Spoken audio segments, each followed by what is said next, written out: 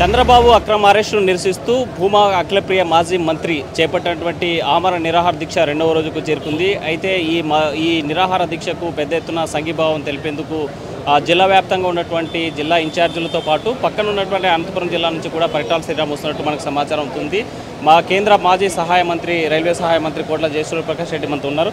Sir చెప్పండి ఈరోజు చంద్రబాబు నాయుడు అక్రమ అక్రమ అరెస్ట్ ఎలా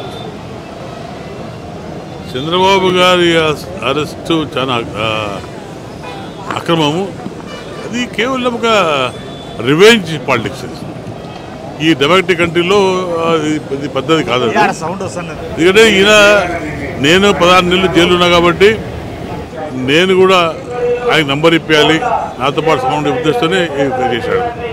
యాక్చువల్ కేసు అతలేదు మాకు చూస్తే కేసు స్ట్రాంగ్ లేదు. పొలిటికల్ రివెంజ్ క్లియర్గా గతంలో ఏ ప్రభుత్వం చే విధంగా ఈరోజు జిల్లా పబ్లిక్ డైరెక్ట్గా ఎదుర్కోలేక తెలియజేపాటు పార్టీ ఎదుర్కోలేక చంద్రబాబు ఎదుర్కోలేక ఇండైరెక్ట్గా ఇది కష్టాలు ఎందుకంటే రోజు రోజు తెలుగుదేశం పార్టీ అరెస్ట్ కాకముందు పరిస్థితి బాగు బాగుంటుంది. ఇప్పటికే ఎక్కువైపోయింది.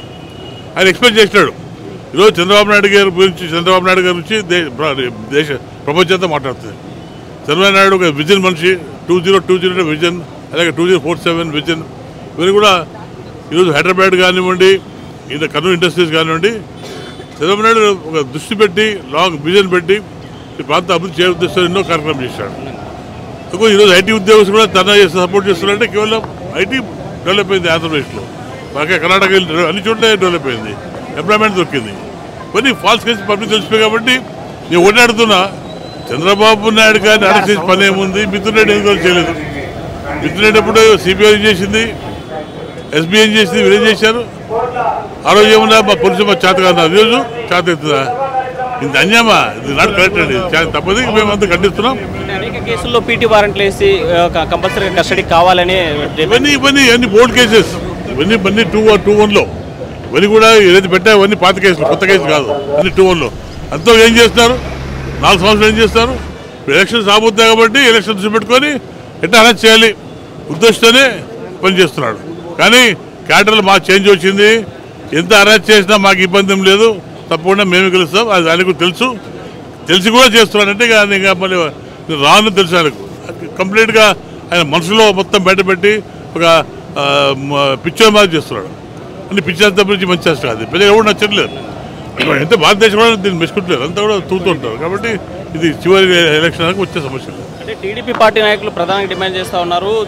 చంద్రబాబు నాయుడుకి జైల్లో ప్రాణ ప్రాణహాని ఉంది అని చెప్తున్నారు. నిజంగా జైల్లో అలాంటి సిచ్యువేషన్స్ ఉంటాయంటారా? అంటే మనము ఒక్కడి రా- మన రాజు ఏం చేశారు. వాళ్ళ నర్సాపేట ఎంపీ ఏం చేశారు? కొట్టారు. భయం ఉంది. ఏమో చేస్తే భయం ఉంది. అది తప్పనిసరిగా డెఫినెట్గా ప్రతి ఒక్క మనిషిలో భయం ఉంది. ఇంతకు చేశారు కాబట్టి. ఎంపీ వాళ్ళ మనిషి కొట్టాడు. లేకపోతే ఏం చేసినా ఆశ్చర్యం లేదు. కానీ చేసే ధైర్యం ఉండదు. చంద్రబాబు నాయుడు మీద అది అది అది చేసే ధైర్యం లేదు కానీ ప్రివెంటివ్గా మేము మాకు భయం మాకు ఉంది ఏమి చేస్తాం భయం ఉంది కానీ అంత చేయలేరు. ఆయన చేసినా పోలీసులు చేయలేరు. అంటే స్లో పాయిజన్ ఎక్కించడానికి ట్రై చేస్తున్నారు అంటే ఇంటి నుంచే ఫుడ్ తీసుకొచ్చేటువంటి పరిస్థితి ఉంది. ఇంటి నుంచే మొత్తం అన్ని సౌకర్యాలు చూస్తున్నారు. ఈ పరిస్థితుల్లో స్లో పాయిజన్ చేసేటువంటి స్కోప్ ఉందంటారా? అంటే స్కోప్ లేదు. మళ్ళీ పోలీస్ కనీవేది చెప్పలేము మనం. పోలీసు పోలీసు గవర్నమెంట్ కనీవేది చెప్పలేం కానీ బట్ యాజ్ అన్ టుడే అదైతే ఉండదు. నాకు but is ready to do anything యాక్చువల్గా అయితే పబ్లిక్లో భయం ఉంది. ఈయన ఎటువంటి పనులు చేస్తా కూడా ధైర్యం ఉంది.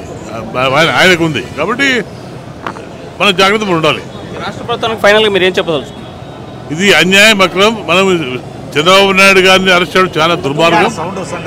ఈ రాజ్యం మళ్ళీ నా పరిపాలన రాకూడదని కోరుకుంటున్నాను నేను. ఎందుకంటే వచ్చే ఐదేళ్ళలో మనం ముప్పై వెళ్ళిపోయాం ఇప్పుడు అభివృద్ధి లేదు.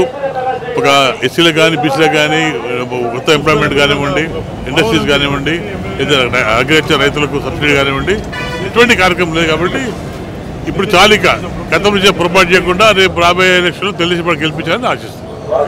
ప్రధానంగా జైల్లో చంద్రబాబు నాయుడుకి ప్రాణహాని ఉండొచ్చు. అయితే దీని అనుమానాలు వ్యక్తం చేసేటువంటి పరిస్థితి అయితే కనిపిస్తోంది. రాబోయేటువంటి కాలంలో మాత్రం ఈ ప్రభుత్వానికి చర్మగీతం ప్రజలు పాడేటువంటి పరిస్థితులు ఉన్నాయని చెప్తున్నారు కోట్ల జయసూర్యప్రకాష్ రెడ్డి.